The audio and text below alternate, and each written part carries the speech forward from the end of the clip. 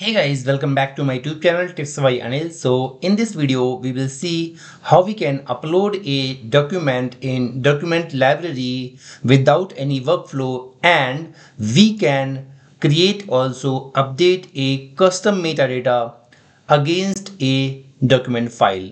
Okay, so here if you will see, I created a document library and uh, here you can see this document type column I created custom okay? So in that value is uh, like document type jpg pdf doc and zip okay?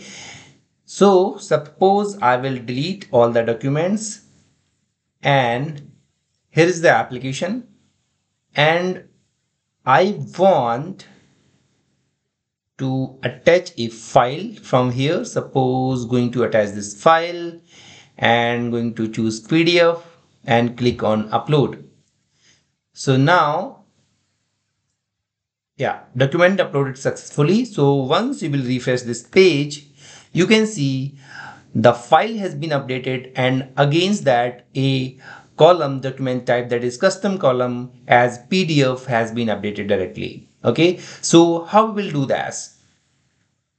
To do that, let me back to my upload button so in this upload button, first of all, I'll let you know that this attachment control, you will not find anywhere in this insert option. Okay, we don't have any such kind of control here. If we'll try to search it, you will not find it out. How we will do that? First, we'll have to create a connector with a SharePoint list. So issue tracker is my SharePoint list that is created in my tenant uh, tips by anil hyphen team sites. Okay. Now this issue tracker list, I created a screen 2 and in the screen 2, I created a form. Let me create a form for you. So this is screen 2 and here I will insert a form that edit form and now here I have a data source for issue, issue tracker. I'll choose issue tracker here. Once this issue tracker will uh, connected with this form, you will see the attachment control. Just copy this attachment control and paste wherever you want. Okay, so suppose I will paste here. Now this control has been pasted over here. Now we are getting few errors. These errors will have to remove. Okay. Remove all the code that's giving you the errors. All right. Now this control is ready for the use. So this is the same control we are using. Okay. This is our first step. And the second step here i created a drop down and in this drop down if you will see here i attach, like i created a table and in this table i choose pdf jpg and doc. Okay? So these three value i can see in the drop down list. All right now in the upload, in the upload, if I'll expand it, so here you will see for all we created a loop because in the attachment control user can choose multiples attachment. Okay? So attachment control name is attach control. See here. Okay? And dot attachments. And we have a, another connector office 365 groups dot http request. And this url or the concept behind this url we will just discuss in this video. Okay? And after that this is the method this is the loop that is going to insert the document in document library directly okay and here we are refreshing the document library, upload doc, the same document library. And after that, we are trying to get the last record, okay, the last ID of this document library. And on the last ID, we are using the patch function. Okay, so here we are updating a document type custom column and we are providing a drop down value selected dot type. Okay? So the concept is because in the document library the concept is first you'll have to upload a document first. Here you will see the file. And after that only you can update your custom uh, metadata. Okay? You don't have any such kind of uh, uh, like uh, options uh, like a, a, similar like sharepoint list that if you're creating a item against the item directly at the same time you can create an attachment as well. But in the document library attachment is first and after that custom metadata. Okay? So this data name modified and modified by this is the default data that created with the uh, document. But the custom metadata we are updating once the document will be inserted. Okay? Now this url how we are we are creating this url so we'll have to go on the graph explorer. Just type in the google graph explorer. So this is microsoft graph explorer. You will get this url and after that just click on run query and here I have logged in already. If you are not logged in, you just can uh, log in here and here you will get all the data, my display name, okay, given name, all the information, whatever you are you having in your tenant.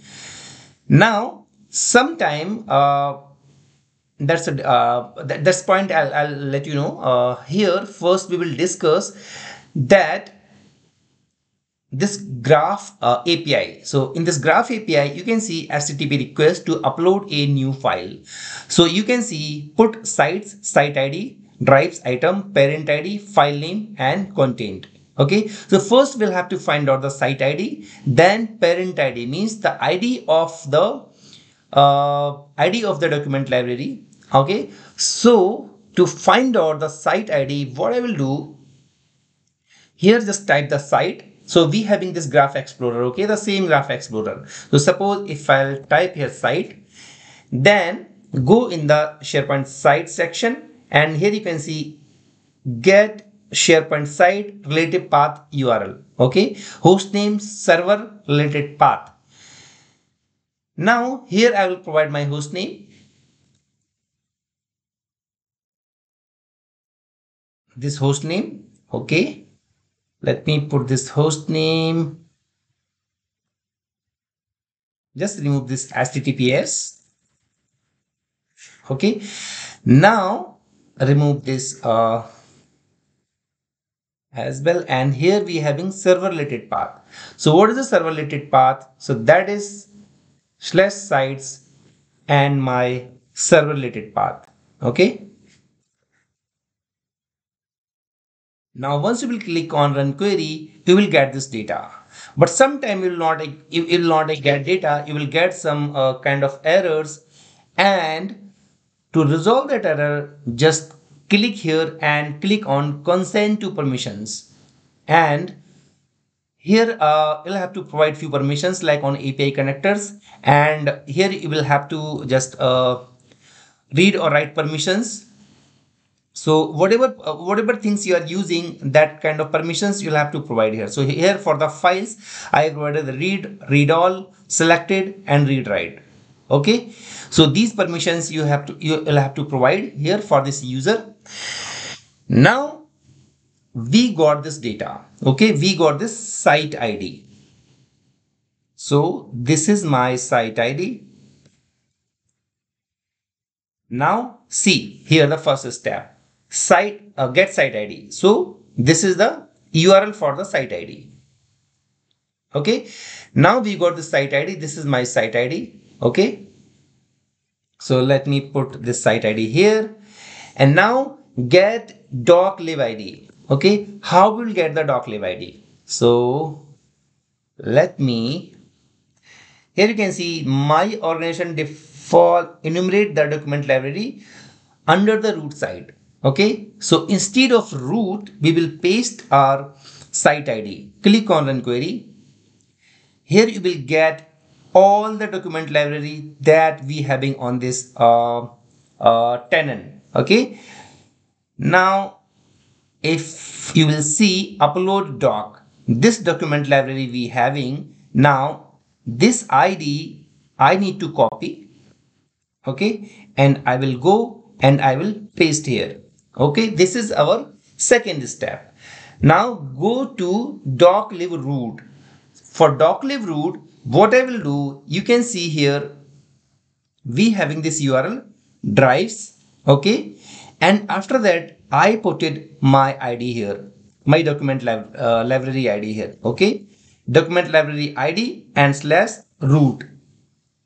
Click on run query. Now we are in the root. Finally, what I will do, see here, we having file name and content. Okay, so that file name and content I will add here. Okay, so this is our complete URL.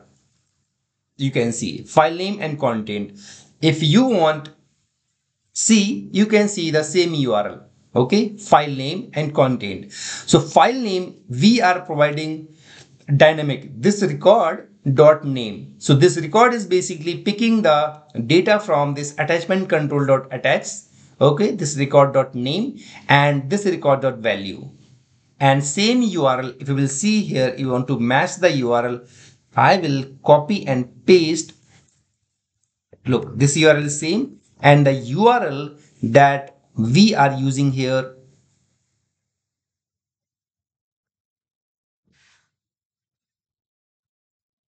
See, URL same, just we are doing this record.name and contained. And after that, one more thing, we this is the put request. See here, okay, this is the put request. So we have created this put request and we are creating in for each loop, for all loop. Okay, so this is the concept behind this. Now, once the document will be uploaded, then instantly we are refreshing this document library and we are getting the last record from this document library. On that last record, we are applying a patch function here to update that document metadata, that custom metadata. Okay, so now if I will run run this, see, click on up, uh, attach file and click on upload. Once you will click on upload, first this document will be uploaded. Then it will take the last ID of the uh, record. Then instantly it will update this document type. So this is all we have discussed in this video, like uh, without any workflow, how we can upload a document in the document library and against how we can update custom metadata. Okay? So in this video i created only one column. If you want you can create multiples column. You can add column here and you can add controls here and you can apply the patch function. So in my patch function here if you will see i use only the single column like here but if you want you can just copy and provide a semicolon sorry a comma and provide the value here so here you can provide the column name and here you can, can provide the control name on which you are storing the value. Okay. So I hope you like this video and if you like this video then please subscribe my channel. Thanks for watching my video. Have a nice day. Bye bye.